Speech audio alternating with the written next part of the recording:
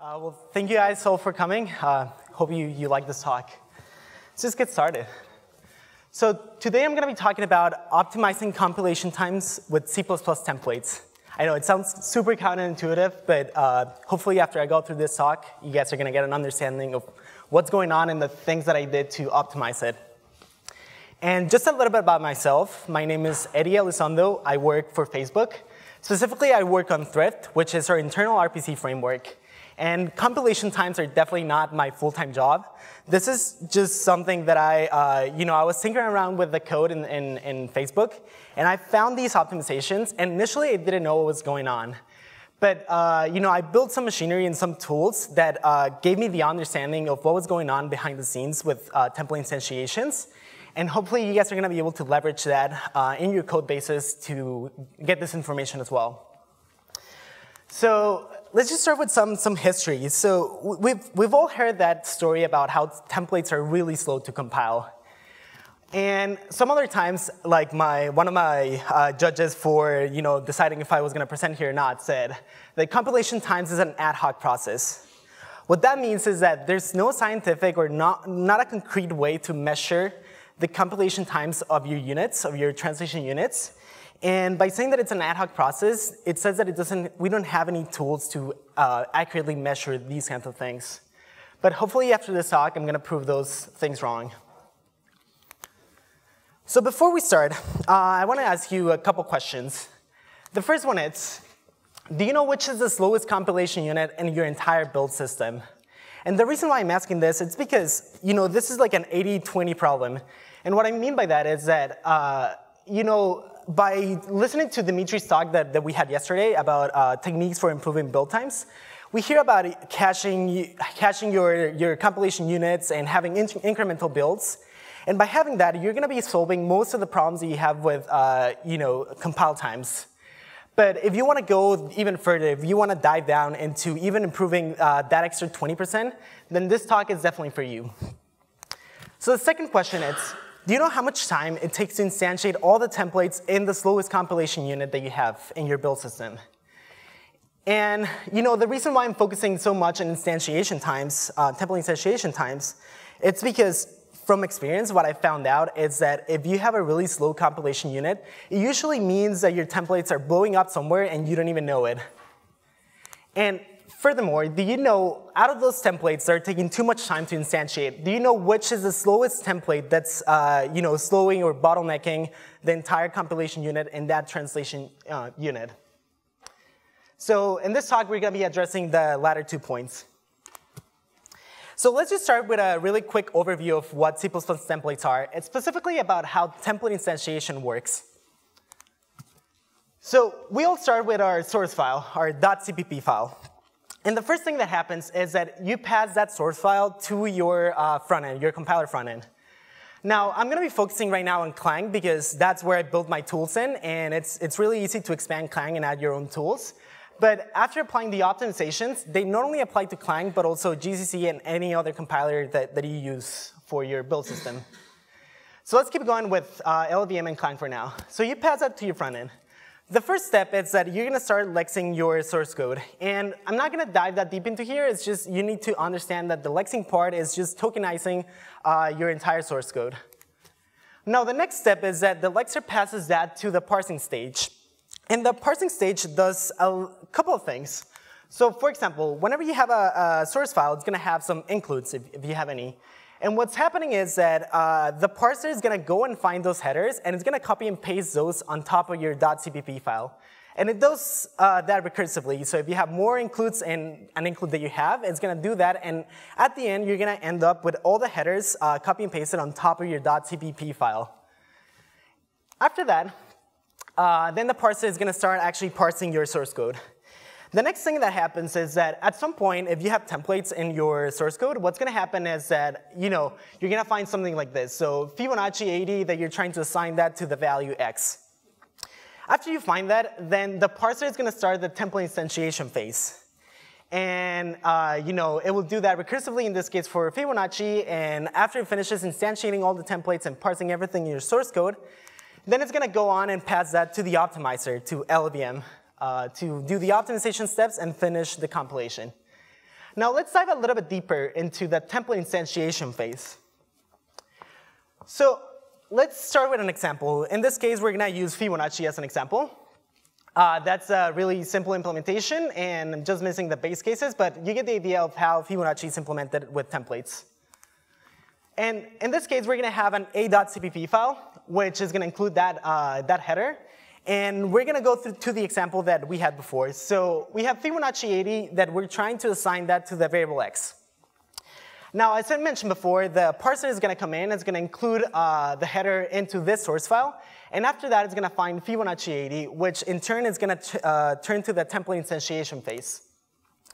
What's gonna happen is that once you start that phase, then it's gonna start instantiating all the templates, and in this case, uh, you know, Fibonacci is calling itself, so it's gonna recursively call itself until it goes to the base case, and once it finishes that, and it return, then it returns a value to the variable x. Now, the really key point in here is that templates are memoized or cached for every translation unit. That means that you know, if you get another variable that you're trying to assign a value from a template that you've already instantiated before, then you don't need to roll out or instantiate all of those templates anymore. You already have them in your source files. So what happens in here is that you're trying to instantiate Fibonacci 40, but you already instantiated that before with the previous variable. So what it does now is that it just goes and picks up Fibonacci 40 and gives it to the variable y without having to instantiate anything anymore, because you already have it. But let's just be really clear that this just happens within the same translation unit, that is within just one .cpp file. Even if you have another CPP file, which is part of the same library that you're using, like in this, in this case, we have another example. So b.cpp, which is trying to assign Fibonacci 40 to the variable z. Now, for this translation unit, it doesn't know anything about the other translation unit, uh, or specifically about the templates in the other translation unit. So what happens here is that Z has to go and instantiate all the 40 uh, templates that it needs to get, to get its value. It cannot use what it already instantiated in the other translation unit. So I just want to make really clear that memoization or caching in the templates only happen within the same translation unit. So let's go into the measuring tools and uh, how we go about measuring compile times, and specifically how do we drill down uh, into specific parts of the compilation process. And I just want to mention that if you guys want to use any of these tools, uh, I've tried to upstream them to, uh, to Clang and to LLVM, but uh, hit some uh, blocks here and there. But I've been trying to, uh, I'm gonna at some point upstream them, but if you wanna use them right away, my GitHub, my GitHub is in there. You can just go in and run my scripts to patch Clang and uh, build it yourself. So let's just start with a demo of how this looks like. Um, so I hope this is not too small, but what's happening at the top is that uh, I'm gonna open up really quick the example that I was using before of Fibonacci. So I just want to show you the implementation of this. In the top part, you're to see the implementation of Fibonacci. Now in the bottom part, you're to see that I'm assigning Fibonacci 80 to the variable x. All right, so that's our source file. What's to happen now is that uh, what I'm to do is I'm to pass this flag to Clang. It's called ftime report. And what that does is that it gives us a report of the overall uh, process that happens in the, in the compiler. As you can see, we get a report on the front end time. So it gives us how much time it takes to do the whole front end part. For the, in this case, for the Fibonacci 80 example. Not only that, but we also get some more granular information. Uh, for example, this is something that I added, the template instantiation time. So it gives you the time that it takes to instantiate all the templates within that translation unit.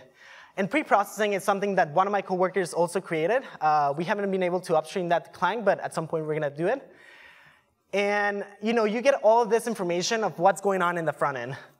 Not only that, but we also get some more information about what's going on in the back end. So as you can see, if we move past uh, the front end part, you get all the optimization steps that are happening in your translation unit. You know, so if you run different optimization flags, in this case O0 or O3, you're gonna get different steps. And, and when you run the most optimized uh, build, you're gonna get even more steps than what we have right now. But it gives you an understanding of what's going on. And even with just this information on the back end, this one time I was able to find some inlining issues in my compilation unit. And by just changing some lines here or there, I was able to improve uh, like 10% of the compile time of that unit, just by looking at this information. And then once uh, you know we drill down into that, and we actually want to go a step further, and want, we want to understand uh, how much time every template's trying it, it's taking in the compilation unit. Then for that, we use another tool which is called Templight. So Templight is just a wrapper around Clang. And what it does is that uh, you know you pass the correct flags that you need to pass into that. And what it does is that it just every time that you're instantiating a template, it's taking that and it's recording it. So after you run the first uh, tool, the Templight tool, then it gives you a tracing information, which uh, I just uh, pass some scripts to get the final result, which is, in this case, the instantiation times for Fibonacci. And if we open that up, we're gonna see that we get the result of the time that it takes to instantiate every template. And you know, after you have this, uh, in this case, I'm just sorting them uh, by the order of how they were instantiated. But you can apply more fancy uh, you know, sorting algorithms or something to sort them by the time that it takes to instantiate them. And once we have this information, it will tell us the things that we need to focus on to improve our compile times within our system.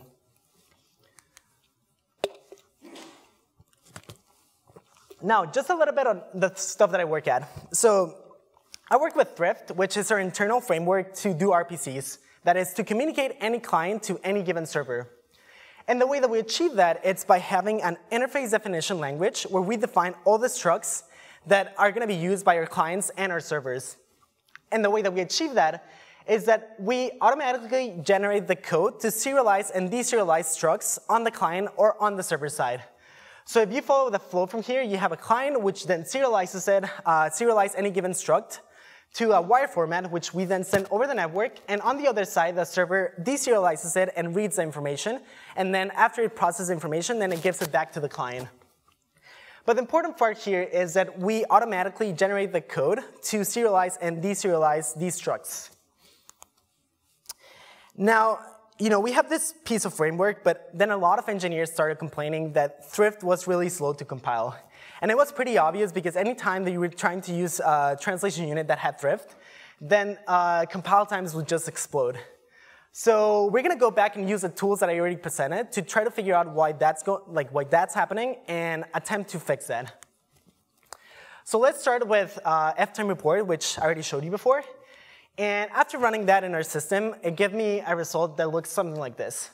So out of the total time, out of the 100% of the front-end time, 86% of the time was being spent on, spent on template instantiation times. And as I said before, uh, generally if you have a compilation unit that's taking too long, it means it usually means that your templates are exploding somewhere. And that was happening in our, in our uh, generated files. And not only that, but we also get some more information on the backend. And I'm showing this right now because I'm going to come back at this at the end to uh, show some improvements that happen from improving compile times. Uh, all right, so once we know that templates are really slow to instantiate in our unit, the next step is to use Templight to drill down into every template to see what's going on. So after running Templight uh, in the generated code that we had, we get a result that looked something like this. So out of the total time, out of the 350 seconds, 60 was spent on just instantiating that one template. That is 20% of the time was just being spent on instantiating just one template. Now that's not acceptable, and we need to go and figure out what's going on with that read function to understand why that's taking too long. And as you can see, that's not only the, that's not just the only result we got, it was more about 12 different uh, lines that told us all the templates that were being instantiated within that unit. All right, so the next step is to try to figure out what's causing this problem. Let's go back and um, understand the interface definition language that I talked about before. So in this case, if you uh, look on the left side on struct 28, and if you see field 15, you're gonna see a, a list of integer 32s. What that means is that you know, every time that we're trying to serialize or deserialize that field, we will be generating something that look like this. Now, this is not exactly how the code looks like. I'm gonna go to that in a minute. This is just to illustrate the example of uh, how that algorithm sort of looked like in generated code. Now, if we see field 76, we have a nested uh, list of integer 32s. So we have a list of lists of i32s. What that means is that whenever we're trying to deserialize this field, internally, we'll be just repeating the same code that we already had before from field 15. That meant that we were doing exactly the same thing for every template, uh, for every field that we already had in our interface definition language.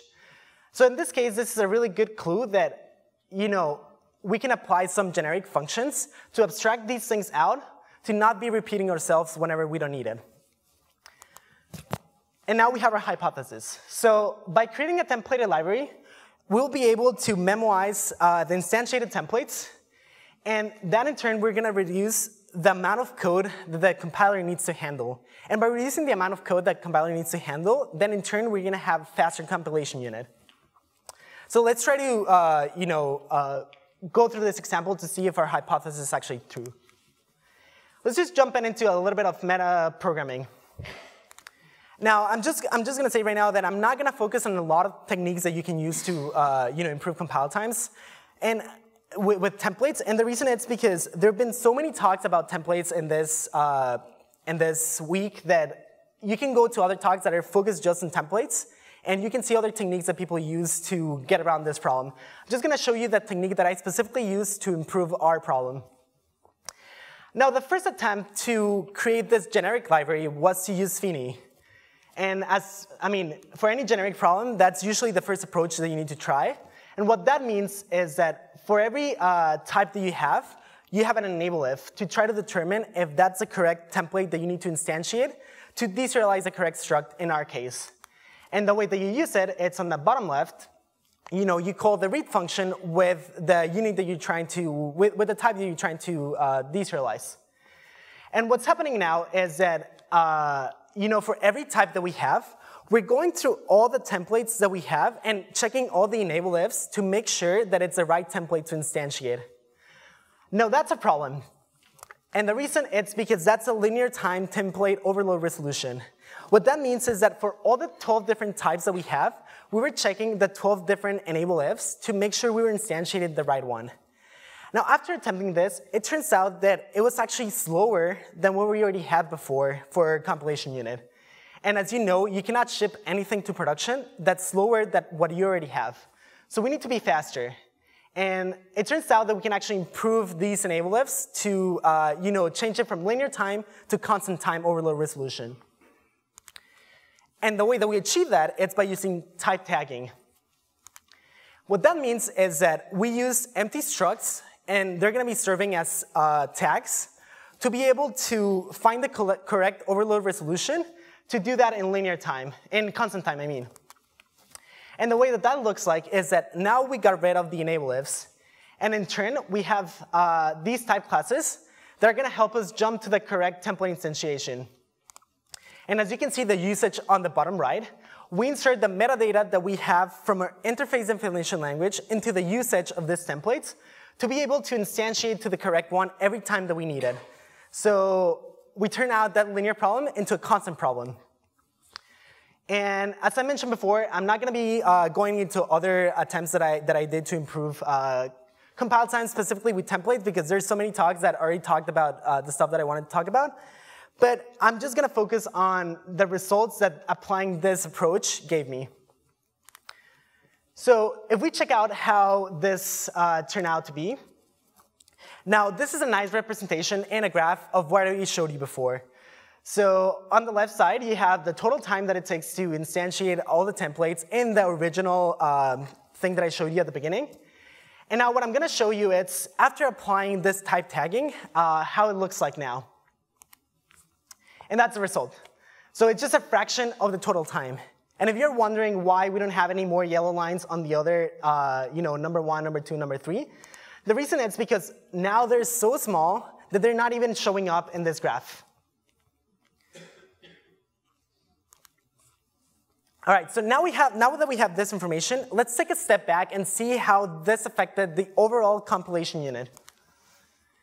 On the left side, you have the original approach that we had, so uh, you know, generating the entire code for deserializing every struct. And that's what I showed you before. Now, on the right side, you're gonna see the new approach that I had by using the tags, the type tagging. As you can see, template instantiation time dropped by an order of magnitude.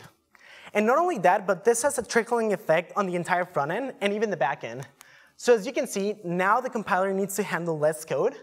So the code generation time is now uh, faster than what, what it was before because now you have less code that you need to handle. So as you can see, the total time now dramatically uh, improved. Not even, it's, it's not only the front end time, but also the back end time. As you can see, now that we have less code to handle, the backend is able to perform even faster. So if you think about improving your template instantiation times, it's going to have an impact on the overall compilation unit. Now let's check the code to see what it looks like with this new templated approach. Now the reason why the, the font is a little bit smaller in here is because you don't need to actually read the code, you just need to see how it looks like. On the left side, we have the original approach of deserializing the entire struct. And on the right side, we have the new approach. So in a minute, uh, on the left side, I'm gonna roll down to, uh, wait, give it a second, there it is. So that entire page, it's just deserializing one field. As you can see, that first case, all of that is deserializing one field. Now, I collapse all of that into this single line, which includes all the metadata that it needs to go into the generic library to deserialize it correctly. yeah, this is, this is just one function call. Uh, it just has all the metadata within the template brackets. All right. So why do we care about this? Why should we care about template instantiation times, and in general about compilation times? And I know I'm going to be stealing one of uh, Dimitri's jokes, but this is really important. At every company, uh, whenever we're waiting on compilation times, it's just wasted time. Time that we can spend, you know, iterating faster or even, uh, you know, improving our code or getting results faster.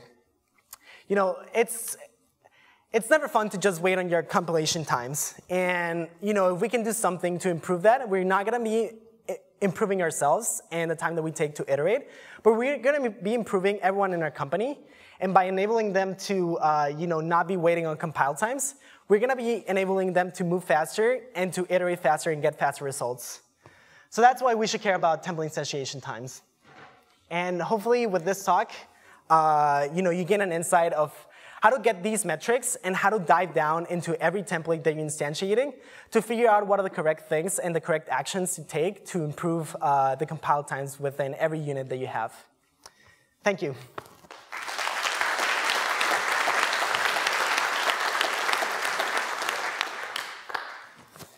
Any questions?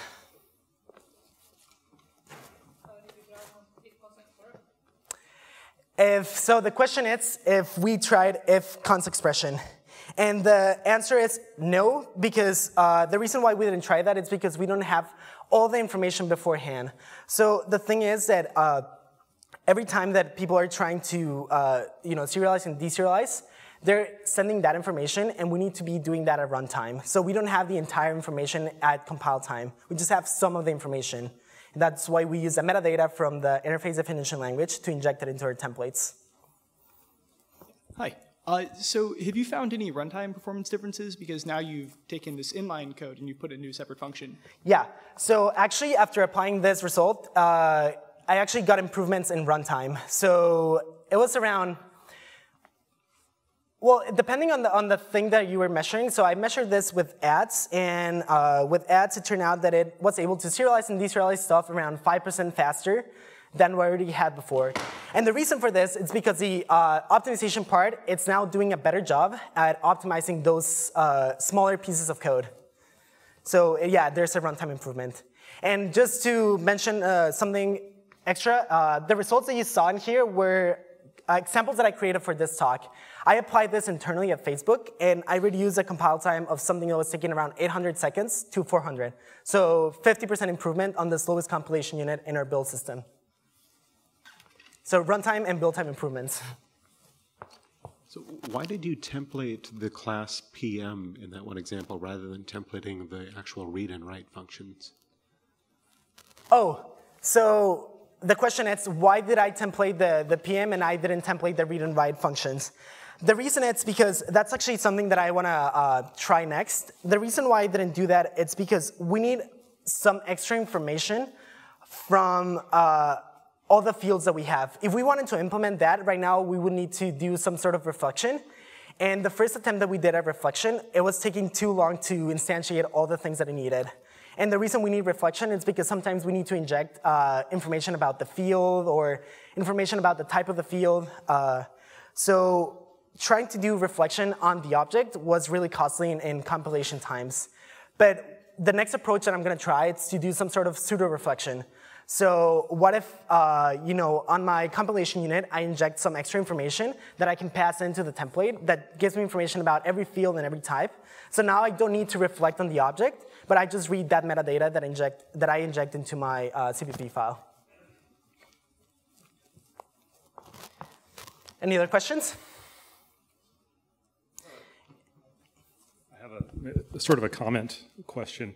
Um, I've found that, uh, so one thing I think is important to mention is that that Templight is, that's the patched compiler, right? Yeah.